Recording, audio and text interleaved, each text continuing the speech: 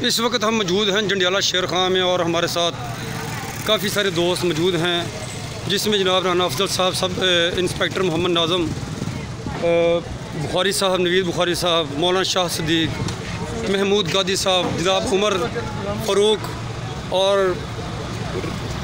राना ज़हीर बाबर और जनाब ये गुलाम जोजा। नहीं नहीं वो नहीं। अच्छा तो हम आपको दिखा रहे हैं जंडियाला शेर खां। तो हम आपको लेके जा रहे हैं। एक मिनट, ठहरे, वो भी करते हैं।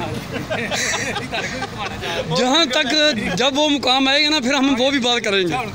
अच्छा तो हम आपको लेके जा रहे हैं। पंजाबी के एक बहुत बड़े शायर पीर वार शाह के मज़ार पर। तो हमारे साथ मौलाना शाह सदीक साहब मौजूद हैं, उनसे भी बात करेंगे। गाजी साहब से तो हम बिल्कुल बात नहीं करेंगे।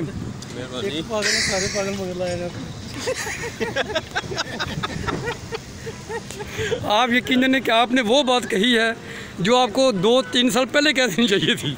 जिसकी वजह से सबके चेहरे खिल गए अच्छा गुलाबी चेहरा माशाल्लाह तो है वैसे को इंस्पेक्टर तो। था गुलाबी